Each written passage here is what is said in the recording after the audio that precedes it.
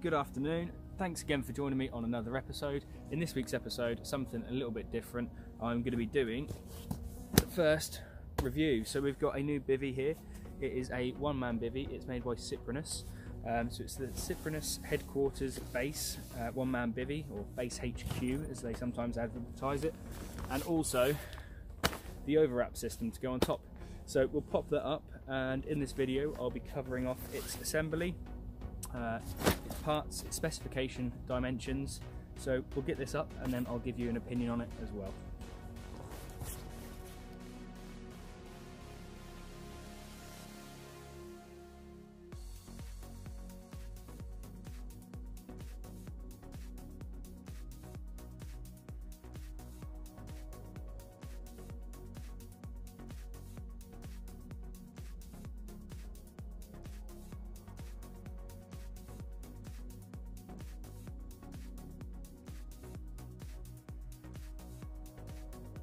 So there we go. That was the first time putting up this Cyprinus Base HQ one-man bivvy.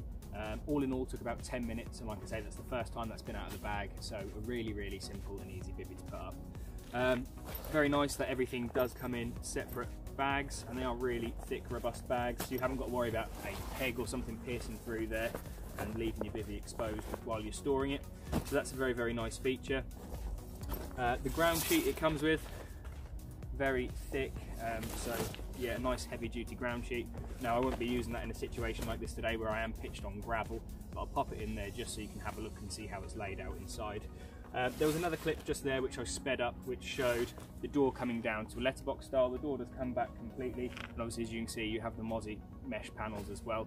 There are two of those at the back of the bivvy as well for improved ventilation and air through flow in the summer so you can keep nice and cool in there all year round. PVC door to clip onto the front. So if you want those Mozzie Mesh side panels and back panels done up, but you still want some visibility through the front in the winter, but you don't want the rain coming in, then one of those velcros onto the front nice and easily as well. I'll slow those down and show you those going back on as well. We've got the overwrap to go on, but first of all, we're going to get a bed chair inside and explore the bivvy a little more. First view of the bivvy today is with all three front Mozzie Mesh panels exposed. This will be perfect for the summer, ideally letting maximum airflow through the bivvy. This is accompanied by two additional panels to the rear of the bivvy on either side. These are low level panels and again the doors roll back and are held in place underneath this lip with two elasticated toggles on either side. In addition to all of the different options you have with the Mozzie Mesh and the PVC doors, Bivy also has the ability to roll all of the front panels back, exposing it wide open in sort of a day shelter style. The giant peak will keep you well protected for any rain or heavy sun. Inside the bivy there's plenty of room. So the bed chair in can easily stretch out. Catch you in 10.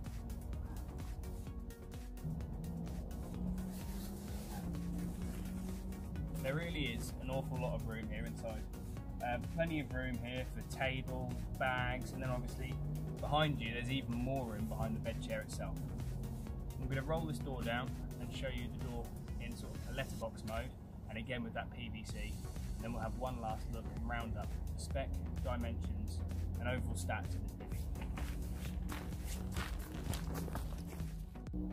So here we have the letterbox style door, obviously fully adjustable to whatever height you want it, allowing you to stay warm in the winter. To attach the PVC door, two which allow you to roll up this main door panel, exposing the Mozzie mesh underneath. Cleverly fit inside, another couple of buckles, to keep that up and out of the way. PVC door itself, I'm guessing this could easily be packed down, still attached to the bivvy. Underneath here, just have some Velcro. Then stick down those sides.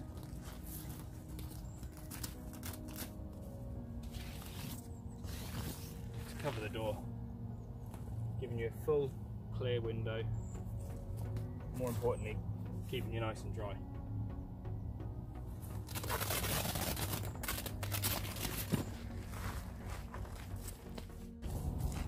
Now I know there are a few other strength reviews done on this bivy online, and unfortunately I don't have storm conditions to test it in. But this peak just here, aligned with the tension poles which run all the way round the bivy and down to the floor, make this bivy seriously strong. So you can see I can lean with my full body weight on the bivy, give it a shake, and it doesn't move. And I probably weigh some something near 14 stone. So, so there we go. All looks good so far. So the next thing we need to do is get the overwrap out of the bag and see how easy that is to get in position and see what differences it makes to the bivy.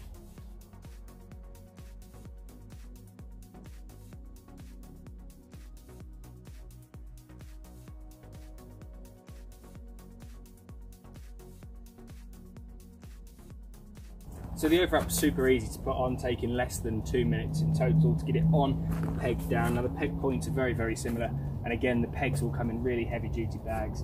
So that's that's another nice feature of this overwrap. The overwrap is the same material, but we'll talk about the specs and the dimensions in just a sec. Cool features, the rod retaining straps, the same as it has underneath. It has two of those on the front and two of those on the back, so it makes it perfect if you're using a spod rod or a marker rod uh, and also makes it super easy for when you're retying your rigs. The doors on, on, on this overwrap match up, so you've got the two panels on the back which reveal the Mozzie mesh, and obviously the two Mozzie mesh panels on the side. The door itself, when open, you can see there is a real, real space in the front here, which is obviously given by the peak. Now that gives plenty of room to store muddy boots out of the way and out of the main bivy compartment so you don't get everything messy inside.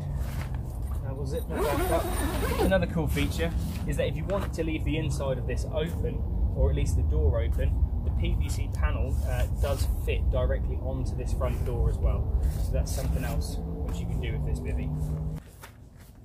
Now with the bivy up and the overwrap on, as you can expect, it is absolutely pitch black in here, meaning that day or night, um, I can't see that I'm going to get any trouble sleeping in here at all um, quickly becomes evident, to be honest, how much extra room this overwrap gives from that peak. Um, it's really quite a significant difference. Think you're probably going to be talking at least sort of an additional 50 centimetres of extra extra space to the front of the bivy, which is great.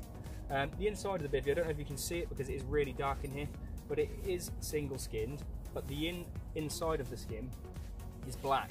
So even without this overwrap, I did notice that it gave it a real blackout effect inside, which is absolutely lovely for those long drawn out summer nights when you do want to go to bed early and uh, get a few hours sleep before the rod starts screaming off.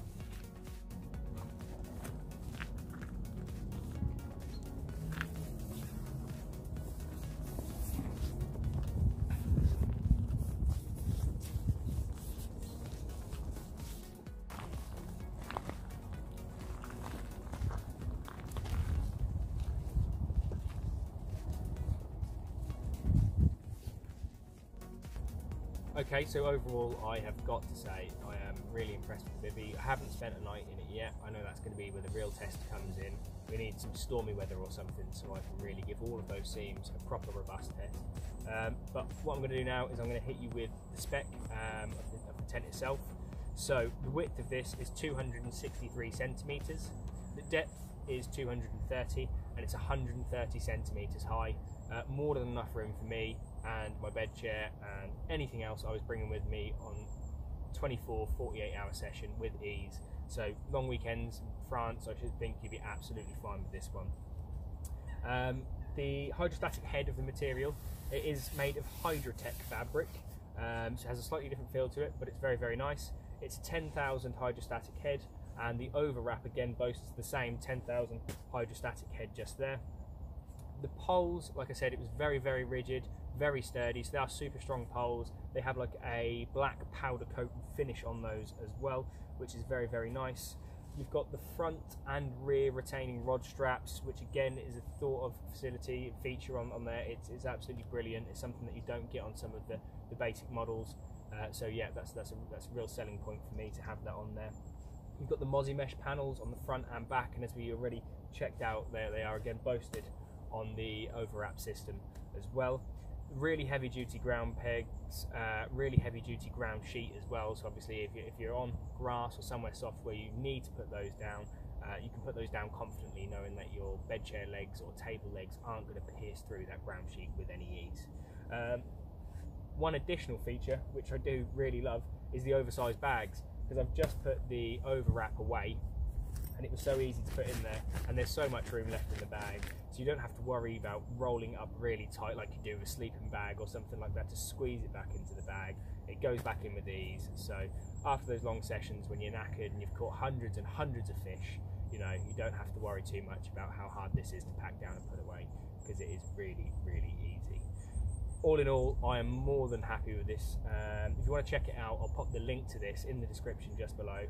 Thanks for tuning into this video. Something a little bit different. I know we normally go out and uh, catch fish on these on these videos, but if you haven't already, give us a thumbs up if you enjoyed the video. Leave me a comment down below. If you've got any questions about this, then please do fire away because I will be out testing it again on a 24-hour session very very soon. And uh, hit the little subscribe button. Lets us know that you're watching the channel and it'll keep you updated when new videos drop every week or every fortnight depending on how much I manage to get out. But thanks again for tuning in, and I'll catch you in the next one.